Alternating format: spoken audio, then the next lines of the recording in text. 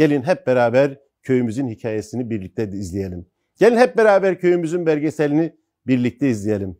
Ne kadar da güzel köyümüz varmış. Hep beraber söyleyelim.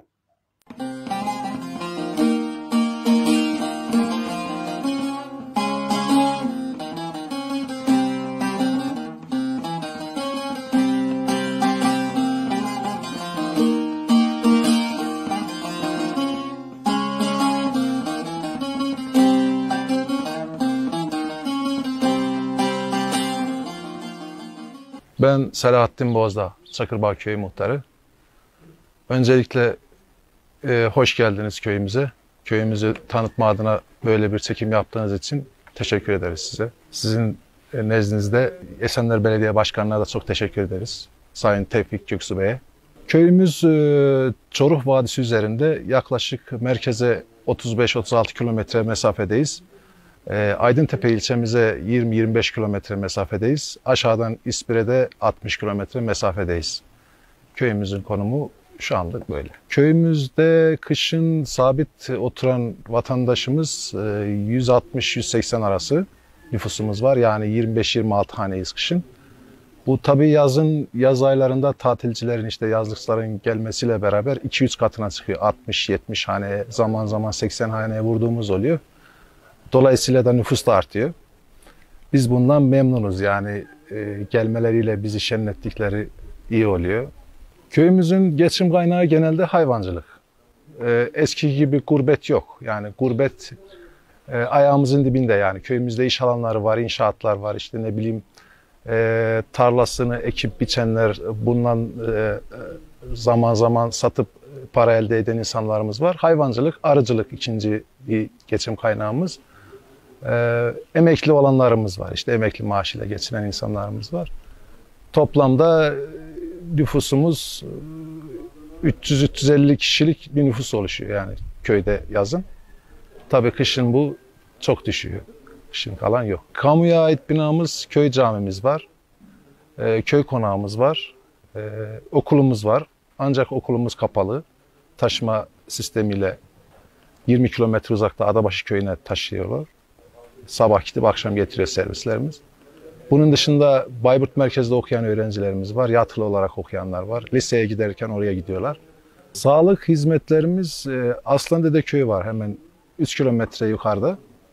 Bu köyde sağlık ocağı var, aile doktoru var yani köyümüzün insanların aile doktoru. Oraya da giden var. Merkezde de var aile doktorumuz, aile hekimimiz. Orada da yani insanlar e, kendilerini muayene ettiriyorlar işte.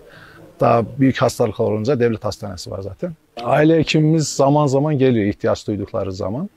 Mesela aşı olduk o, ola, olacağımız zaman aşı yapmaya geliyorlar. Ee, işte randevulu olan hastalarımız varsa, evde bakım varsa onlara geliyorlar. Köyümüzde bakkalımız var. Kahvemiz yok. Önceden beri yok yani kahve. Köyümüz çok büyük olmadığı için kahveye ihtiyaç duyulmuyor. Bunun dışında sosyal hayat genelde piknik alanlarımız var işte. Köyümüzün dışında arazilerimiz var, çeşmelerimiz. Onların başına giderek piknik yapma şeylerimiz var. Ee, piknik alanlarında zaman zaman işte yoğunluklar da oluyor. Yani çok kalabalık olduğumuz için şu anda. Gurbetteki hemşehrilerimize söylemek istediğim e, en azından e, bir ay 20 gün tatil yapmalarını köyümüze gelip köyü çocuklarına işte tanıtmalarını, gidip gelmelerini bunları istiyoruz. Köyümüze işte e, tanıtım açısından tanımalarını istiyoruz. Ziyaret etmelerini istiyoruz daha doğrusu. Öncelikle buradan e, Mehmet Tevfik Göksu Belediye Başkanımıza çok teşekkür ederiz. Bizi tanıttığı için. Buradan da kendisine selam söylüyorum. Çok teşekkür ederim kendisine de böyle bir fırsatı verdiği için.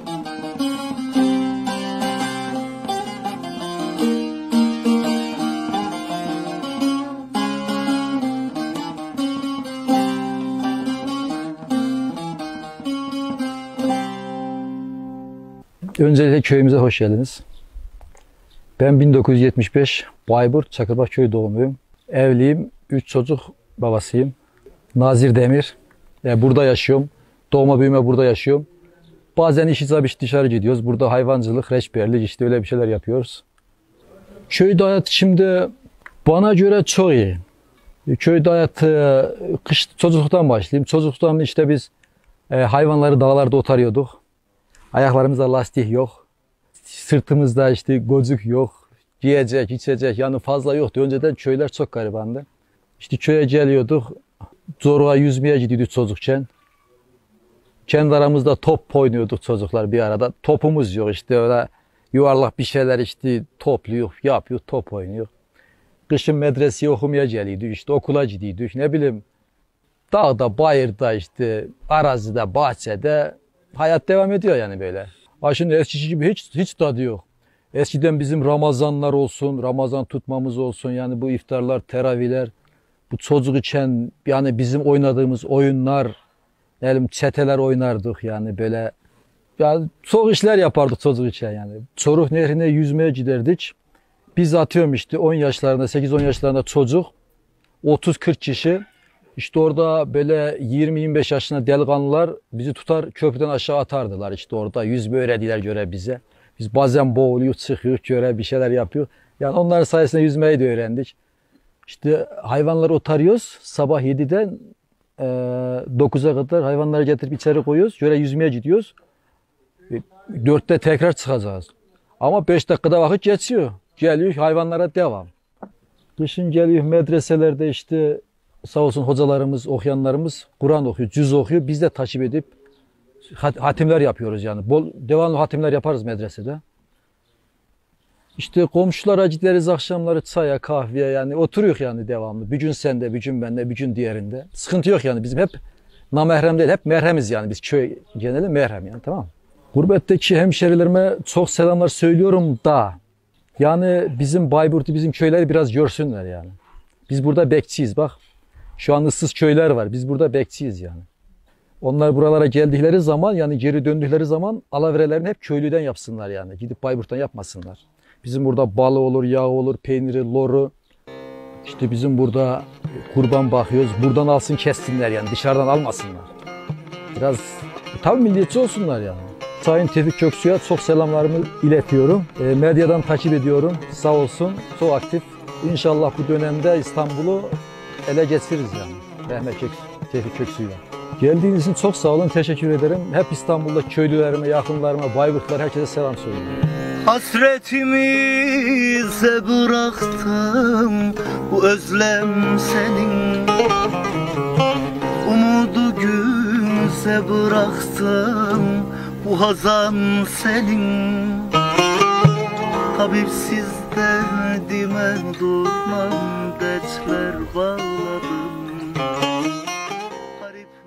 İbrahim Camadan. 1972 bu köy nüfusuna kayıtlıyım. Çakırbağ köyü Bayburt'un. 1987 senesinde buradan İstanbul'a göç ettik biz. Aynı yıl içerisinde bu köyden 15 hane göç etti. Tabi sebepleri geçim zorluğu, kıt imkanlar, işsizlik. Tabi yıllar geçti. Şimdi buradan göçenler belli bir birikim yaptılar insanlar büyük şehirlerde. Ben İstanbul'da oturuyorum bu arada Esenler'de. Birikim yapanlar tekrar ata topraklarına özlem duyuyorlar. Biz de dahil buna geliyoruz, işte ziyaret ediyoruz. Birçoğu yeniden ev yapıyor burada. Ben aşağı yukarı her yıl olmasa da bazen üst üste her sene de geldiğim oluyor. İki sene, üç seneyi geçmiyor. Ama tabii oradaki insanlara, çocuklara burada yaşamadıkları için, buradaki havayı solumadıkları için çok cazip gelmiyor köy. Biz alıştırmaya, sevdirmeye çalışıyoruz ama yani bilmiyorum İstanbul bize çok yorucu geliyor. Kafamızı çok ağrıtıyor. Çocuklar aynı sıkıntı yaşamıyorlar belli ki. Kafalar henüz dolmamış daha o gürültü, hengame. Onlar pek gelmek istemiyorlar ama geldikleri zaman da memnun kalıyorlar bazı kız, bazıları. Burada sessizlik işte, huzur, sakinlik birçoğunun hoşuna gidiyor geldikten sonra. Yani özlediğim şeyler mesela önceden biz bir de Çoruh Nehri akar biz burada. Yazları her gün orada yüzerdik. Kalabalık bir çocuk grubu olurdu. İşte akşamları e, biz çete oyunu deriz. Saklambaç biz de çete oyunu derler burada. Oynardık işte küçük baş, büyük baş hayvan otlatırdık. Neşeli olurdu dağlarda böyle işte yemeğimizi, erzağımızı alır giderdik. Akşama kadar gelmezdik mesela. Çok daha şendi o zamanlar köy. Daha neşeliydi. Belki yokluk vardı, sıkıntı çoktu ama bugünden baktığımız zaman çok daha neşeli ve güzeldi o yıllar. Onları özlüyoruz tabii ama tabii zaman alıp götürüyor hepsini. Şimdi imkan var ama tabii o yılların heyecanı yok bizde. Ee, 9, 10, 12, 13, 14 yaşlarındasın. Bir sorumluluğun yok aslında var ama yani daha çok baba, anne sorumlu. Şimdiki çocuklar o yokluğu da çekmiyorlar. Allah'a şükür herkes iyi durumdalar. He, Her hanede neredeyse maaş var, şu var, bu var.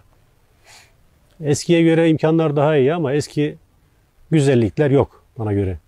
Gurbetteki hemşerilerimizi e, ben de dahil hepimiz yani buraları ihmal etmeyelim. Yani her yıl olmasa bile 2-3, 4 yılda bir gelinmesi icap ediyor buralara. Ha, canlı tutmak lazım bu toprakları. Sonuçta ata topraklarımız. Burada imkanı olan e, yapabiliyorsa yapsın yerini. Yani senede 15-20 gün de olsa gelsinler diye tavsiye ederim. Mehmet Tevfik Göksu Başkanımızı ben şahsen de tanıyorum. Esenler'de oturduğum için 34 senedir Esenler'deyim ben. Başkanımızın hizmetlerinden memnunuz. Yani merkezi hükümette diyaloğu iyi bildiğim kadarıyla. Esenler'de bayağı bir değişim yaptı. Çevreyi, çehreyi değiştirdi. Kendisine teşekkür ediyoruz. Yani dolayısıyla kendisine başarılar diliyoruz. İnşallah ileriki yıllarda daha iyi yerlere gelir. Gitme durmam sarıl durmam Bu dağlar senin Gitme benim deli durmam Bu bağlar senin Yüreğim yareli durmam Bu ömür senin 1959 doğumluyum. Bayburt Çakırbağ köyünde doğdum. Ee, İsmim Zeki Çelebi. Kendimi 1986-87'de İstanbul'a göç etmiştim. Oradan tekrar İstanbul Esenler'den 2002'de köyüme dönmek mecburiyetine kaldım annem babam için. Geldim buraya şu anda buradayım. Ama tabii genellikle de gidiyoruz. Esenler'e her zaman kışın gidiyoruz. Esenler bizim tabii köyümüzün yarısı. Orada da evimiz, barkımız var. Herkesine de muhabbetimiz bol. Gurbete 1974 senesinde çıktım. Esenler'e gittim. Orada akrabalarımız vardı. Tabii gittik onlar yanına. Direkt Esenler'e gittim. Esen İstanbul'dayız yani. İstanbul'dan başka bir yere gitmedik. E işte yaptığımız şu inşaatçılık yapıyordum. İnşaattan düştüm, ayağımı kırdım. Şu anda sağ ayağımda platin demir olduğu için inşaatı bıraktım. Emekliyim şu anda. Köyde geçinip gidiyor işte. Bağ bahçe işte uğraşıyoruz bir şeylerle. Köyde hayat çok güzel. Herkesi de köyümüze bekliyorum. Burada tabii ki İstanbul gibi değil. Burada havalar güzel, serin, e, nütübet yok. E, İnşallah e, herkesi de bekleriz tabii buraya.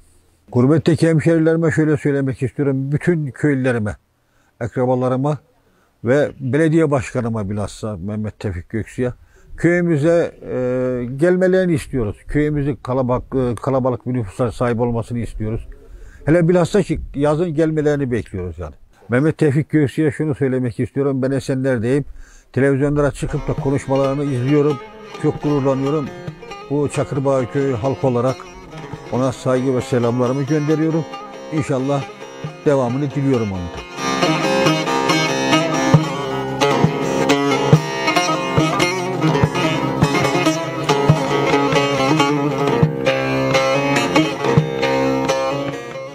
İsmim Özcan Yakut. Ee, 1971 e, eski ismi Abus'ta yeni ismi Çakırbağ olan bu köyde doğdum. Öncelikle köyümüze hoş geldiniz. 81'in yarısında diyeyim ilkokul 4 yarısında İstanbul'a ailem taşındığı için Esen, İstanbul Esenler Kazım Karagöl Mahallesi'ne yerleştim. Yani üç çocuk babasıyım. İşte İstanbul'da yaşıyorum yine. İşte yazın gelip gidiyoruz köyümüz. Şimdi köye çeken şöyle şöyle diyeyim yani normalde benim e, İzmit Karamürsel'de bahçe var, yeşillik var güzel ama köyün hasrettiği başka yani. Yani bir dağını taşını gezeyim bir göreyim yani hasretlik var yani. Yaz geldiği zaman yaz sezonunda illa bir yani köye gitme arzusu oluyor yani. Şimdi bayramda gelemediğimiz için mecbur bayram sonunda kaldık. Ya bir beş gün on gün gezdiğim zaman ya bir rahatlıyorum huzur, huzur oluyor yani insanda ya. Eski bir yaşanmışlığım var. Yani hemen hemen her sene geliyorum abi. Yani köyümüz güzel. Ya şimdi çocukluk hayatımı yaşadığımız için burada. Onlar arıyorsun yani. Şimdi geliyorsun eski evleri hayal ediyorsun. Yeni evleri görünce fark et. Adam farklı bir duruş duruyor yani. Değişik bir ortam. Yani özlemi farklı köyün. Yani gelmesem bir farklılık oluyor yani. Vallahi gençlere ne tavsiye edeceğim abi köylerinden bağını koparmasınlar. İşte akrabalık bağı olsun. Şimdi İstanbul'da bağ biraz kopuk biliyorsun. Aynı binada otursan dahi birbirini ancak inerken çıkarken görüyorsun ama köyde farklı. Köy ortamı geliyoruz işte akşam işte toplanıyoruz derneğin önüne falan konağın önüne. Veya camimizin burada. Samaver çay herkesin bildiği. Çay yapıyoruz işte sohbet ediyoruz. Yani çok gençler inşallah gelsinler köylerini terk etmesinler yani. Güzel bir ortam oluyor yani. Yani bir haftalık 10 günlük olabilir yani. Vallahi gurbetteki hemşehrilerimize ne yapalım köylerinden bağlarını koparmasınlar. Yani buradan sevgiler saygılar söylüyorum yani. Ben de şimdi İstanbul'a döneceğim yani. Teşekkür Ben de teşekkür ediyorum. Hürmetler, sevgiler diyorum. Ne diyeyim? Saygılar söylüyorum Esenler halkına. Ulu dağlar, yüce dağlar Bu yollar senin Yanık yanık sesin gelir Bu diller Turnaların diyarına Bir selam götür. Gelip gideceğim durmam. Yollar senin. Gelip gideceğim yol